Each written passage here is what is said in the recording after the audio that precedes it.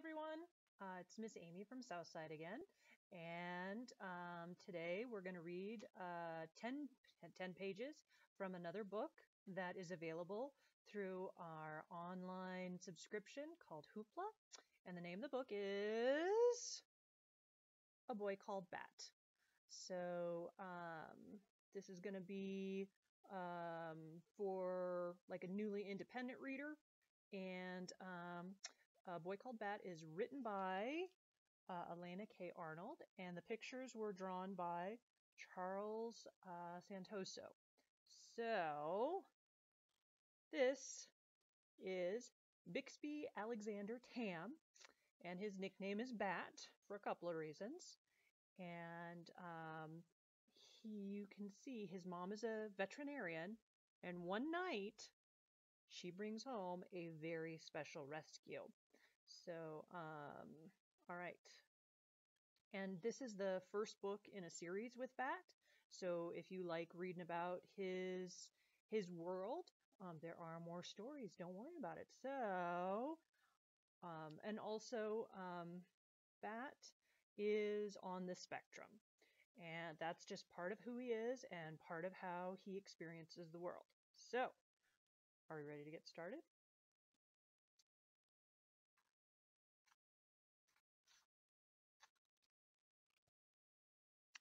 Chapter 1 After School Bixby Alexander Tam stared into the refrigerator, trying to decide what to eat. He knew that the longer he took, the more energy he was wasting, and Bixby Alexander Tam did not like to waste energy. But he also didn't like to eat leftovers, or cheese that had to be sliced, or any of the yogurt flavors in the fridge. Bat, close the refrigerator door! Yelled his sister Janie from the kitchen table, where she sat cutting out pictures from a pile of old magazines. Janie, he was sure, had eaten all the lemon and vanilla yogurts, and she knew he only liked the creamy ones, not the fruit on the bottom kind. Bat was what almost everyone called Bixby Alexander Tam for a couple of reasons. First, because the initials of his name, B, A, and T, spelled bat. But there were maybe other reasons. Bat, hmm, Bat's sensitive hearing, for one. He didn't like loud sounds. What was so unusual about that?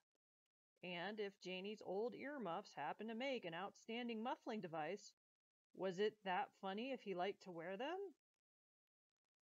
There was also the way he sometimes flapped his hands when he was nervous or excited or thinking about something interesting. Some of the kids at school seemed to think that was hilarious. And of course, bats have wings, which they flap. So, between the initials and the earmuffs and the hand flapping, the nickname had stuck. And truthfully, Bat didn't mind.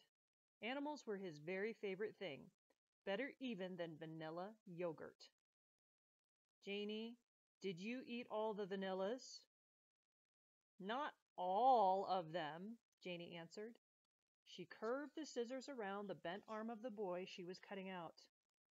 I saw you eat at least two or three of them.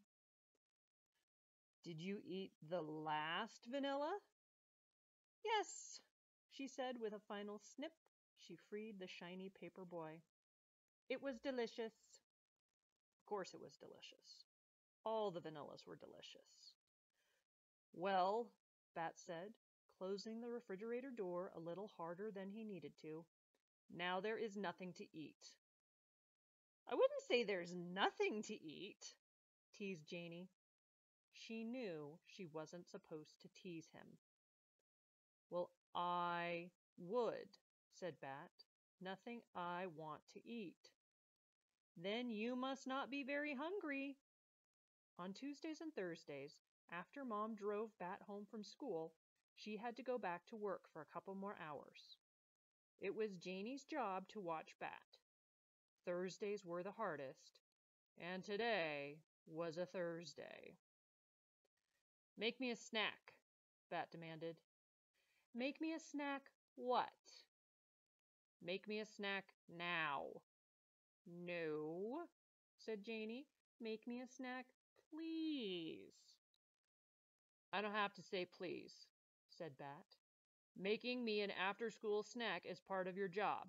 You don't have to say please to get someone to do their job. You do if you want them to do it well, said Janie. But she pushed back the magazines and stood up.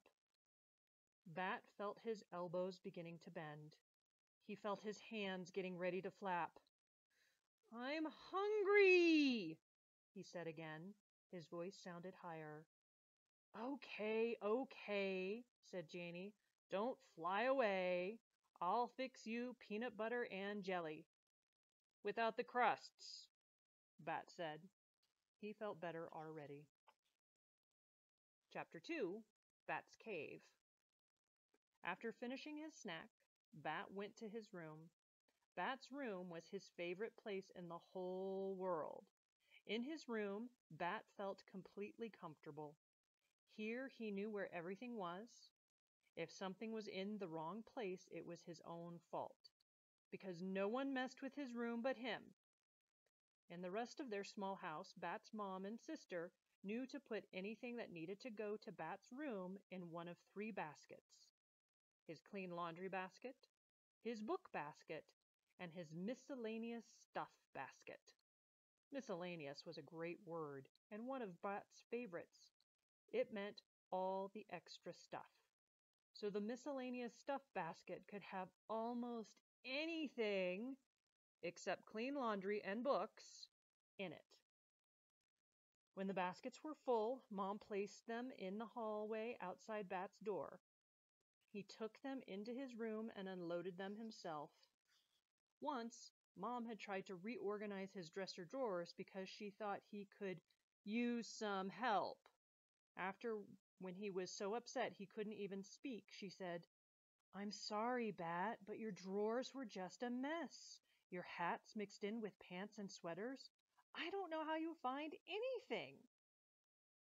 But the drawers weren't a mess. Not at all. If Mom had looked more closely, she could have seen his knit caps were in with his long pants and his sweaters, because he wore, always wore those things on, together on cold days.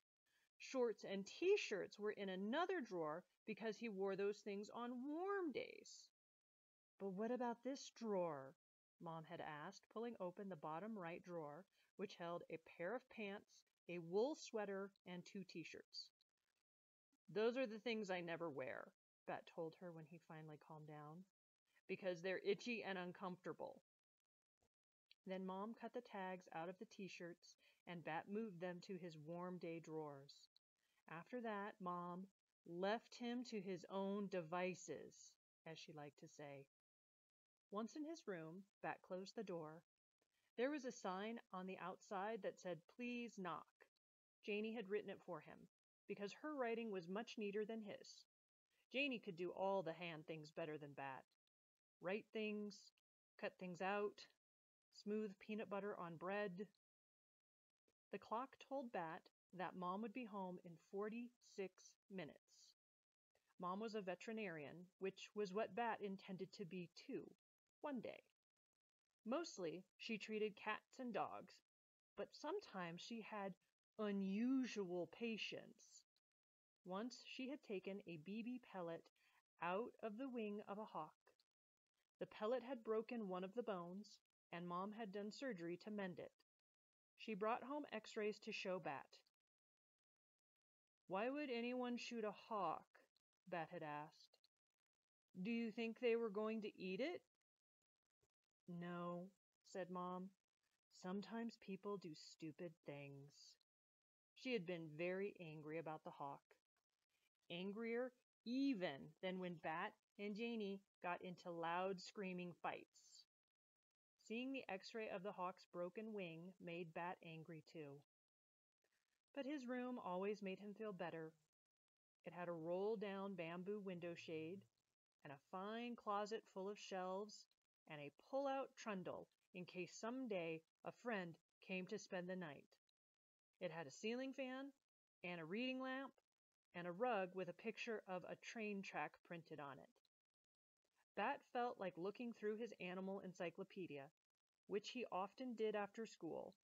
So he pulled it down from the shelf and dropped comfortably onto his beanbag. His stomach was full of sandwich, and Mr. Grayson hadn't assigned any homework. For this moment, at least, Bat felt perfectly content. So, first 10 pages of A Boy Called Bat. Um, very soon in the next chapter, Mom brings home a very special guest, and um, the story continues. So, uh, once again, uh, this is a title that is available from Hoopla. So, if you go to the Santa Fe Public Library website and search for the book, um, there will be a button that says check out from Hoopla, and you can just click and check the book out. Um, if you don't have a Hoopla account, um, if you look on the playlists for the um, library's YouTube page, there are a whole bunch of information about getting set up on Hoopla. Um, also, you can always just email the library if you need help. We're always checking the emails. So, um, I hope you guys enjoyed the story. I hope you guys check it out. Um, he's a great character. And have just the best day, guys. See you later. Bye.